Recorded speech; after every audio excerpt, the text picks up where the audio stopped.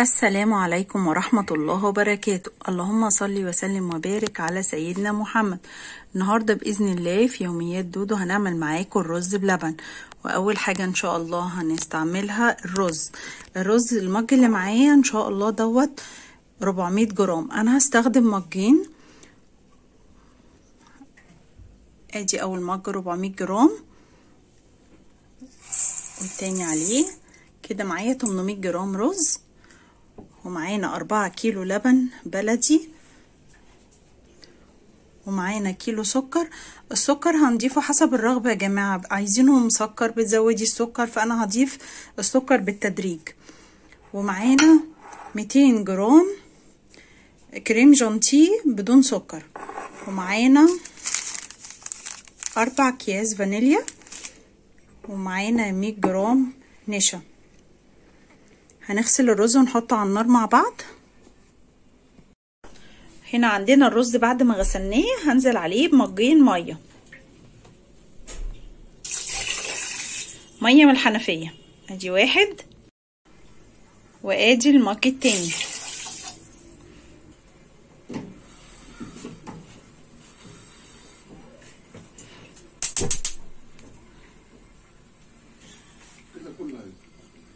علي النار على الرز يتشرب ميته. أنا مغطياه يتشرب ميته بس هبقى واقفة جنب منه. عشان ما يتلسعش. هنا الرز معانا بعد ما اتشرب هبدأ أنزل باللبن. ادي مج. اتنين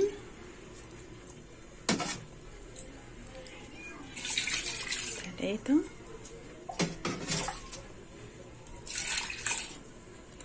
أربعة. حطينا كده أربع مجات لبن وهوطي عليه وأسيبه يتشرب. وهنا الأربع مجات لبن بعد ما حطيتهم اتشرب اللبن وهحط تاني. أدي مج.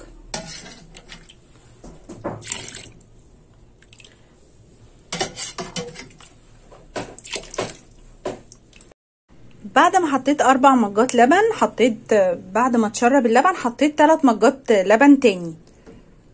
وهوطي عليه برضو وهغطيه يتشربوا. هنا معايا مج لبن من اللبن اللي أنا وزناه من الأول وهدوب فيه الكريم جانتيه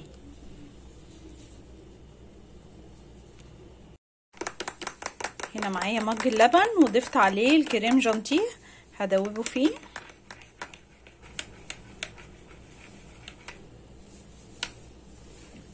اضيف حبة حبة وأقلبهم.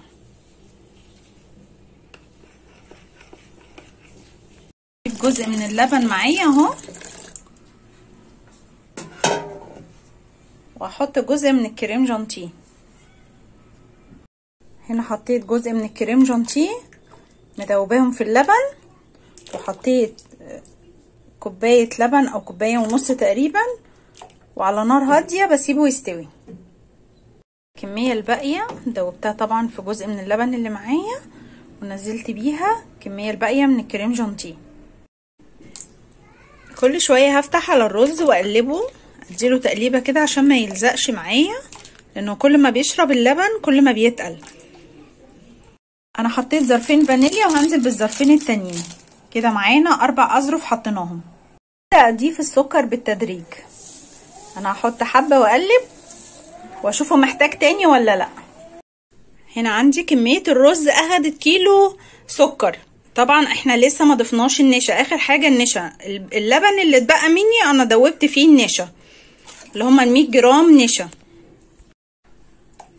آدي بقية النشا. أول ما أحط النشا بقى أقعد أقلب على طول ما أوقفش إيدي بالمعلقة هفضل أقلب لأن هو هيتقل معايا النشا. عشان يستوي كويس وما يعملش تكتلات لازم تقلبي على طول.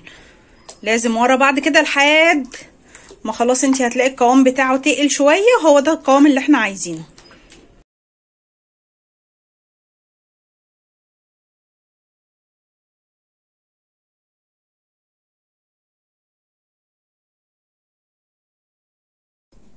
وهنا الرز خلاص كان استوى ده القوام اللي إحنا عايزينه.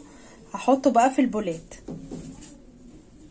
وده كان الشكل النهائي معانا. أنا حطيت على وشه قرفة. انتي ممكن تحطي مكسرات أي حاجة حسب الرغبة.